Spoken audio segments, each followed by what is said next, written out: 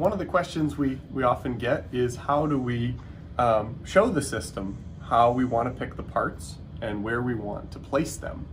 And what's interesting is that path planning um, and the way that the system moves through the space not only makes it reliable, but it also makes the programming extremely easy. So you get those two things.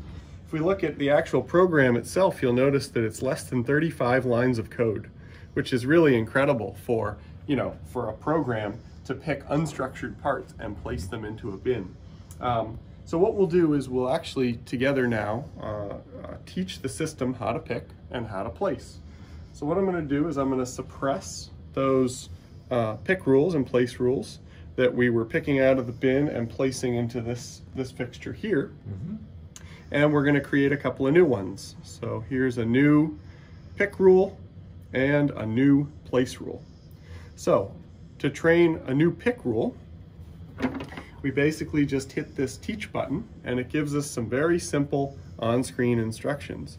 It says attach the part to the tool, move the robot with the part underneath the 3D scanner and hit scan or, or remember.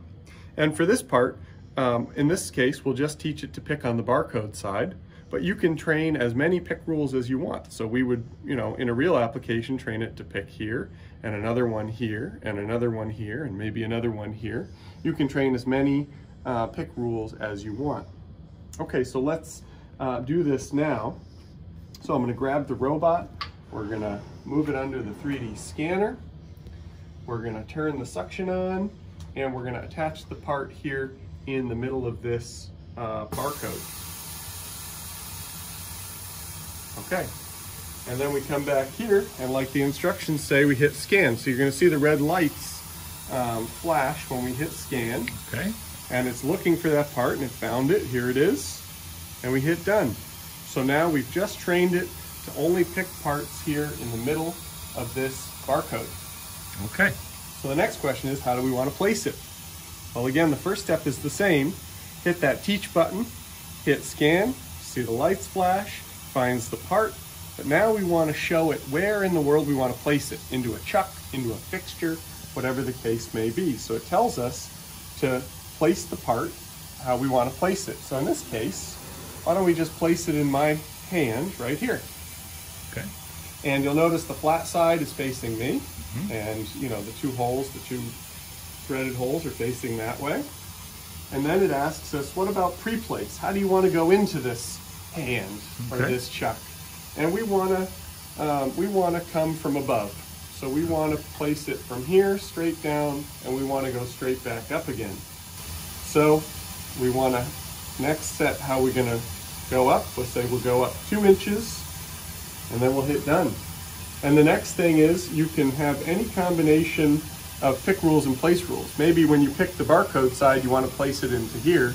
And when you pick the other side, you want to place it over here. Oh, okay. So you can have any combination of you know, pick rules and place rules, so you just link them together. For this purpose, we'll just do the simplest, dead simplest, which is one pick rule and one place rule. Okay, we'll turn the suction off. Good catch. Thank you. and uh, that's it. Yeah, we'll hit play. So the robot's gonna go back to home. It's gonna scan. It's gonna look for parts. Now it's only looking for parts with the barcode side facing up because we only, you know, we only taught it that one. It's gonna figure out how to move and it's gonna place that part right here in my hand, again with the flat side facing me and the two threaded holes facing, you know, facing that way. Same configure every time. Yeah, exactly. Yep. And so that's how easy it is to train a new a new pick rule and a new place rule. That's cool. So yeah. you can see if, you know, part changeover is extremely easy. Mm -hmm. You know, you have a new part, you load a CAD model of the new part, you show it, you know, three or four different ways where you want to pick it. You show it how you want to place it, and you hit play, and it's gonna it's gonna go figure out how to do that.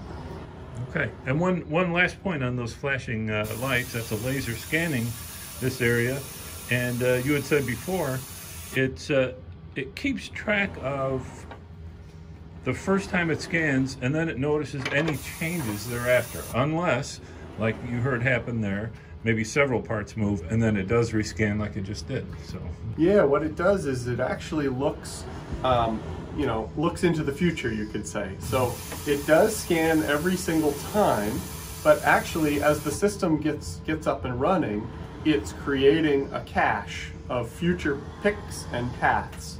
So when it scans, sometimes it's just checking, hey, is the is the part that I've already planned a path to, is it still there? And Right. if it is still there, it just simply goes and executes that already, you know, that already planned path. So it, it looks into the future. Now, in the case where something moves, when it scans, it says, hey, actually that part's not in the same place um, that, it, that I think it should be. And then it'll clear that cache and start over. okay, and then So- refigure the next five steps And again. then re- refigure the next five ones, yeah.